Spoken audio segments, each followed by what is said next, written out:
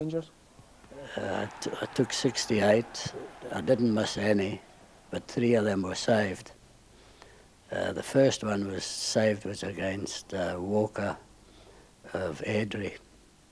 I don't think it mattered to the result of the game. The second one I missed was against Slater of Falkirk at Ibrox. That's the only penalty I ever missed at Ibrox. The third penalty was against Jimmy Brown of Kilmarnock. Uh, I put it in the other corner and he dived and saved it. Then we were on a coaching course that year, 58 it was, 1958. And he was bumming about saving my penalty. I said, Jimmy, away into goals there. I'll take 10 penalties against you, and I bet you a quid you don't save one. You're on, wee man.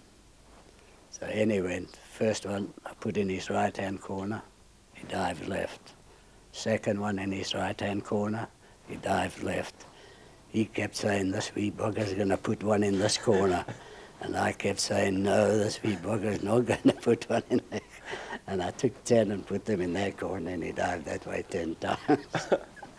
And you got your quid? Eh? No, I didn't get my quid, but I got satisfaction. Yeah. Alec Ferguson at the turn of the century, at the 20th century, different people were asked, what's the best penalty, what's the best goal you've ever seen? And Alec Ferguson said, uh, Rangers versus Celtic, Hubbard's hat-trick, his first goal. He got the ball from uh, John Little just outside his own box, beat Hockney, Evans, Stein, Peacock, um. The goalkeeper came out, I've even forgotten his name now. He came out, waltzed around him, and walked the ball into the net. I remember writing in one book a most vivid memory of the greatest, greatest goal I'd ever seen, and I would be about 13 years of age and went to Ibrox Park to see the Celtic Rangers New Year's Day game. And of course, these games, you can imagine, an incredible atmosphere and tension. But Johnny got a ball just outside the Rangers penalty box and meandered by two or three. But then we got to the serious business of attacking the West defenders, he beat three of them, including the goalkeeper. I remember the goalkeeper's name. His name was Bell. Um, it was, I think it was Meechan was at left back.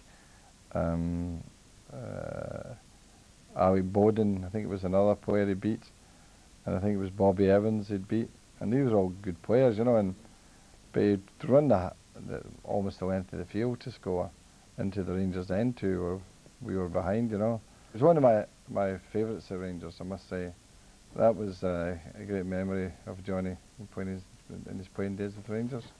Come to us today. It's been a delight, Michael.